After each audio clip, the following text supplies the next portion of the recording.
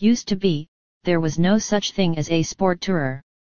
It's kind of a silly concept, if you think about it take the biggest, slowest, worst handling sort of bike and combine it with the smallest, fastest, best handling. It's like crossing an F-18 with the Goodyear blimp, and nobody will be happy. Of course, you're reading this on the internet, where nobody is happy anyway. Give us power, handling, reliability, locking luggage and price it like it's on the McDonald's value menu. Give us all the pluses and none of the minuses. Oh, and can you make it in the USA? Cuz Murica? Schizophrenic product requests like this must drive planners and engineers insane, especially when you have to balance so many conflicting demands. Make it happen all it takes is a huge corporation and hundreds and millions of R&D dollars, after all and then the resulting machine gets faulted for lack of character. Yet, the Concours 14 is affordable, fast, good handling and reliable, say the guys with checkbooks out, ready to buy, but so is the FJR 1300 and the ST 1300 and the K1600 GT. I think I better go think it over and talk to the wife. Please excuse me, says the exasperated OEM, while I insert the pointy end of this JD Powers award all the way into my eye. Thank God, then, for the hopeful naivete of youth. One day, back in 2008, a pair of enthusiasts an engineer named Brian Case and a business guy named Lee Conn decided they would build a kick-ass, all-American sport tourer that would be irresistible to self-proclaimed sport touring customers. You can read the whole Motus story elsewhere on MO after all, we've been covering it from the very start but here's the executive summary. The MSTR's engine gets a big bump in power, which makes the valve covers glow cherry red even when the bike is stopped.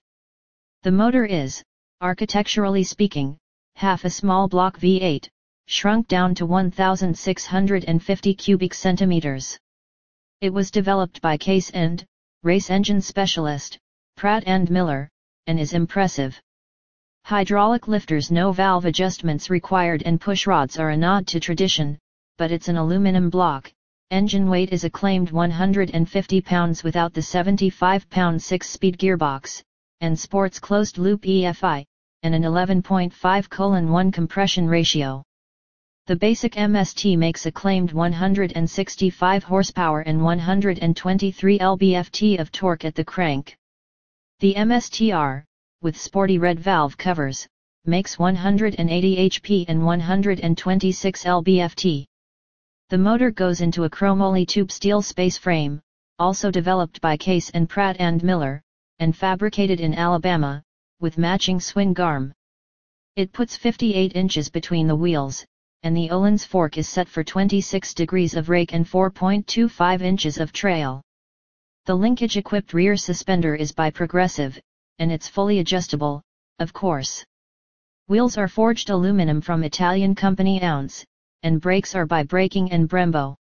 The MSTR gets an Öhlins TTX 36 shock, Brembo M4 monoblock calipers, and carbon fiber bodywork. The rest of the bike is pretty simple. There's some simple looking, but expensive, made in South Africa fiberglass, bodywork, a minimal tail, and grab handles that double as mounts for included GIVI locking hard cases. The seat is by Sargents, and a choice of either a low or high seat are available at no extra cost to the buyer, and the adjustable windscreen is also available in multiple widths and heights. A small but data-packed TFT display delivers the 411. It all weighs in at a claimed 585 pounds with bags and a full 5.5 gallon fuel tank. Expect to see more than 200 miles of range. I have been reading about this bike since 2010 or so, so I was eager to ride it. After a two-minute tech brief, I climbed aboard the MSTR. Lee also assured he had the low seats on both bikes which is 32 inches, the high seat is 33.5, though it's very narrow at the front, making it possible to get both feet flat on the ground despite my 30-inch inseam. The bike is bulky at a standstill and heavy at low speeds, reminding me of a big standard like Kawi's Z1000. Steering lock was limited as well, but then I remembered I was on a 180 HP sport tourer and realized it was much easier to handle than it should be. Riding up into the Altamont Pass for photos took us onto a bumpy, twisty road, and the Motus handled it well. The Öhlins rear was stiff, but I probably could have tuned the harshness out if I had time. The steering felt heavy at first, but after a few miles it felt manageable, and never hard to turn. Feet up U-turns between photo passes were easy, especially considering this genre.